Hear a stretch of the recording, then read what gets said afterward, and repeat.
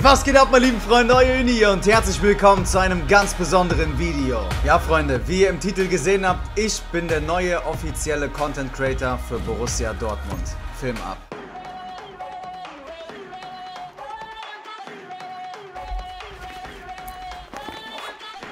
Wie würdest du dich entscheiden, wenn du für einen der größten Vereine der Welt spielen könntest?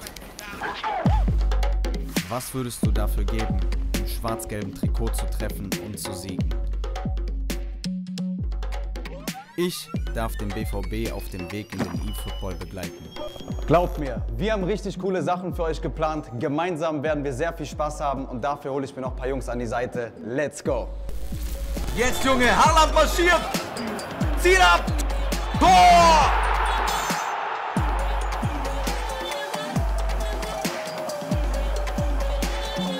Der kann es jetzt machen! Der kann es machen!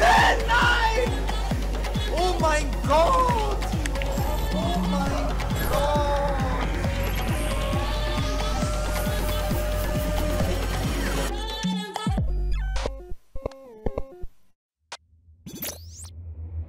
Ja, Freunde, ihr habt den Trailer gesehen. Auf jeden Fall sehr, sehr krass. Und ich weiß gar nicht, wo ich anfangen soll. Die meisten haben es ja sicherlich schon auch auf Instagram mitbekommen. Und ich dachte mir, ich mache mal hier ein kleines Video und erzähle euch so ein bisschen, wie das Ganze zustande gekommen ist und was hinter diesem Projekt BVB eFootball steckt. Erstmal wollte ich mich bei euch allen bedanken. Ich weiß, ich bedanke mich ziemlich oft in letzter Zeit, aber es kommt auch wirklich vom Herzen, Leute. Denn ohne euch wäre ich einfach nicht da, wo ich jetzt bin dann wäre niemals so ein Riesenprojekt zustande gekommen. Ich meine, überlegt mal, ich habe 2010 angefangen in meinem Kinderzimmer bei meinen Eltern zu Hause FIFA-Videos zu machen, Compilations von meinen besten Toren und jetzt, zehn Jahre später, bin ich bei einem der größten Vereine der Welt unter Vertrag und darf der offizielle Content Creator sein und das macht mich natürlich mega stolz. Lasst schon mal einen dicken Daumen nach oben da, Freunde, wenn ihr euch für mich freut. Ich bin natürlich sehr geehrt, das Ganze machen zu dürfen und bevor jetzt wieder einige in die Kommentare schreiben, ey, du kommst doch aus Düsseldorf, wie kann das sein? An der Stelle Guck mal, jeder von euch da draußen hat wahrscheinlich seinen Lieblingsverein, den er supportet.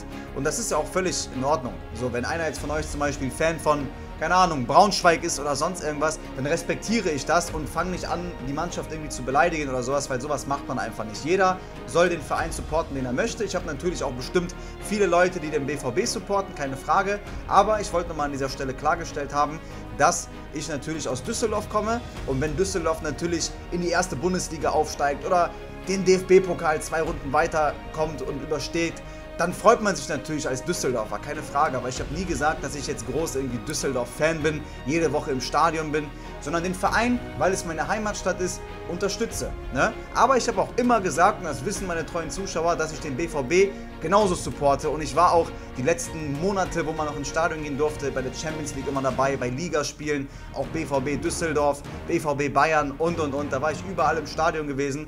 Und das ist für mich eine Riesenehre, bei diesem Verein jetzt einfach der Content Creator zu sein und Videos machen zu dürfen. Deshalb wollte ich an dieser Stelle das nochmal erwähnt haben, Freunde, bevor der ein oder andere das wieder in die Kommentare schreibt. Natürlich wird es ein komplettes Team geben. Ich werde mir noch zwei Spieler an die Seite holen, die ihr gleich am Ende des Videos sehen werdet. Oder vielleicht hat der ein oder andere das auch schon auf Instagram gesehen. Falls ihr Instagram noch nicht ausgecheckt habt, macht das gerne, Leute. Und ja, das Ganze ging auf jeden Fall so los. Ich habe ja für ein paar Monaten den BVB bei der Bundesliga Home Challenge vertreten. Und da war Dortmund noch gar nicht in diesem E-Sport-Bereich, E-Football-Bereich drin gewesen und die hatten es auch eigentlich gar nicht so vorgehabt. Und dann haben die gesehen, dass ich das Ganze sehr, sehr gut umgesetzt habe, waren zufrieden mit meiner Leistung, wie das auch alles in so kurzer Zeit umgesetzt wurde. Woche für Woche habe ich dann jedes Mal die Bundesliga Home Challenge mit dem BVB gespielt gemeinsam und das hat natürlich auch mega Spaß gemacht und die haben gesehen, ah geil, das kommt ja auch gut bei unseren Zuschauern an. Und so ging das Projekt dann zustande. Und jetzt nach ungefähr fünf Monaten später bin ich nun der offizielle Content Creator und wirklich auch sehr, sehr stolz drauf. Was ist geplant? Viele denken jetzt, ja, BVB macht ein E-Sports-Team auf und jetzt geht es nur darum, mir wirklich jedes Turnier zu rasieren oder sonst irgendwas. Nein, das ist nicht das erste Ziel des BVBs bei diesem großen Projekt, sondern es geht hauptsächlich darum, Spaß, Unterhaltung, Entertainment, Zusammenarbeit mit den Fans, coole Formate auf die Beine zu stellen. Und dafür bin ich auf jeden Fall mit am Start und werde natürlich in Zukunft auch mit dem einen oder anderen Profispieler coole Videos aufnehmen und Formate. Ich habe ja schon in den letzten Wochen auf dem BVB-Kanal einiges hochgeladen. Interviews mit Sancho, mit Zagadou, mit Akanji, mit Guerrero, also mit den verschiedensten Dortmund-Stars. Und das wird natürlich alles auch nach Corona, wenn das Ganze jetzt hoffentlich mal bald vorbei ist, persönlich stattfinden, dass ich auch mal vielleicht eine Fußball-Challenge aufnehmen kann, sowohl für den Kanal als auch für den BVB-Kanal. Aber wenn jetzt jemand denkt, es wird sich jetzt alles irgendwie bei mir ändern oder so, das ist auf keinen Fall. Ich werde ganz normal weiter streamen und es wird alles ganz normal weitergehen, wie es auch von mir vorher gewohnt seid, Leute. Nur, dass ich jetzt halt ein Teil von diesem großen Projekt bin. Und das ist halt alles geplant. Es sind zwei E-Sportler mit an Bord geholt worden. Die werde ich euch gleich am Ende des Videos nochmal zeigen bei unserem zweiten Trailer. Und die werden natürlich auch bei Turnieren mitspielen und wenn die mal weit kommen oder auch bei Weltmeisterschaften, dann ist es so. Dann freut man sich natürlich, keine Frage, aber das ist nicht der Hauptfokus bei diesem großen Projekt. Und es wurden auf jeden Fall bewusst zwei junge E-Sportler mit ans Board geholt, die jetzt 16 Jahre alt sind und nicht irgendwie Profis, die schon dreimal die deutsche Meisterschaft geholt haben oder sowas, weil ihr kennt es ja von Dortmund, die fördern immer jüngere Spieler, Bestes Beispiel ein Jaden Sancho, der vor zwei Jahren zu Dortmund gekommen ist, gegen den ich auch schon auf der Gamescom gespielt hatte vor zwei Jahren, wo ihn niemand kannte und jetzt einer der größten Weltstars geworden ist. Oder auch ein Haaland, der neu zur BVB gekommen ist und da jetzt alles rasiert. Dafür steht halt der BVB und so wollen die es auch in dem E-Football-Bereich angehen, dass man sich zuerst jüngere Spieler holt, die auch mit unserem Coach fördert. Wir haben ja auch einen Coach am Start und der wird dann die Jungs auf dem Weg begleiten und aus denen versuchen, richtig gute FIFA-Spieler zu machen. Dann kann man auch diese, diese Road to Glory, sage ich mal, sehen, wie die jüngeren Spieler sich entwickeln und vielleicht nächstes oder übernächstes Jahr schon ganz oben mitspielen. Ne? Und das finde ich auf jeden Fall auch geil und nicht so, dass man jetzt einfach, keine Ahnung, mit dem besten Spieler holt und zack, hier ist der BVB. Das fand ich auf jeden Fall bei der Sache sehr, sehr cool und deshalb werde ich das auch unterstützen und die Jungs auf jeden Fall bestenfalls begleiten und auch auf Turnieren, wenn sie mal so weit sind, dass sie qualifiziert sind, dass ich dann da auf jeden Fall auch mitfahre, das Ganze vielleicht vlogge und und und. Ich möchte das Video auch nicht allzu lang halten, ich wollte euch nur da draußen informieren und bin sehr, sehr stolz über diesen großen Schritt. Das ist, glaube ich, für mich der größte Schritt in meiner ganzen YouTube-Influencer-Laufbahn, den ich bisher gemacht habe, für so einen großen Verein spielen zu dürfen, der Content Creator zu sein und auch zu sehen, wie dann das eigene Video bei Dortmund auf Instagram gepostet wird oder auf dem YouTube-Kanal, ist für einen natürlich eine große Ehre. Und daneben dann so ein Foto von Sancho zu sehen, dann bin ich einfach da. Es haben auch schon verschiedene Zeitungen und Internetportale darüber berichtet und ja, wirklich an dieser Stelle ein großes Dankeschön an jeden einzelnen von euch, der mich da draußen supportet. Ich weiß, jeder von euch wird kein BVB sein, da das ist ja auch völlig normal, Leute. Das ist auch überhaupt nicht schlimm. Aber respektiert natürlich auch die Vereine von anderen Leute. Das ist ganz wichtig an dieser Stelle. Und ja, der BVB wird jetzt am Freitag mit dem Twitch-Kanal an den Start gehen. Dort werde ich auch einmal die Woche wahrscheinlich streamen. Und da könnt ihr mich dann auf jeden Fall auch sehen. Deshalb könnt ihr den gerne auch mal auschecken, Leute.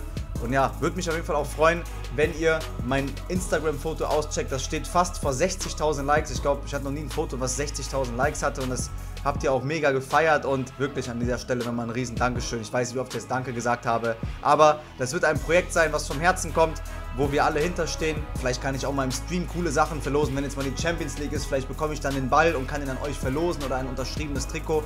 Das wird alles noch kommen, deshalb checkt natürlich auch meinen Twitch-Kanal aus. Oben in der Beschreibung verlinkt. Dort streame ich wirklich fast jeden Tag.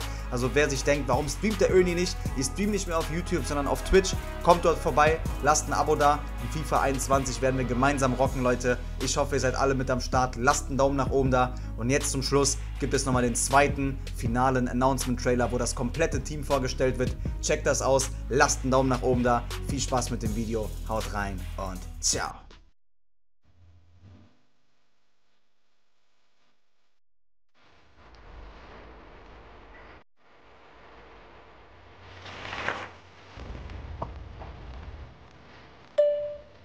Jungs, es ist soweit. Ich brauche eure Hilfe.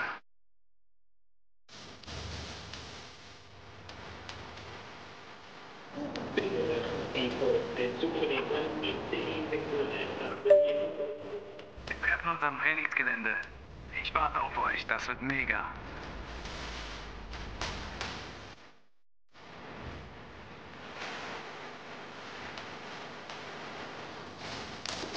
Komm mit, Jungs.